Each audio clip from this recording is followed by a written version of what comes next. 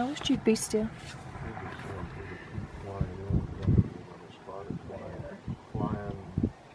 Directly across us, heading. It just landed on the other side. Yeah, it's a. Behind there's two shovelers. There's a peep. Walk. You see it walking behind. There's two shovelers. If you see the big telephone pole just go straight down from that, and then go to the left. You'll see a little. It's almost like an indent, indented, indented spot on the bank.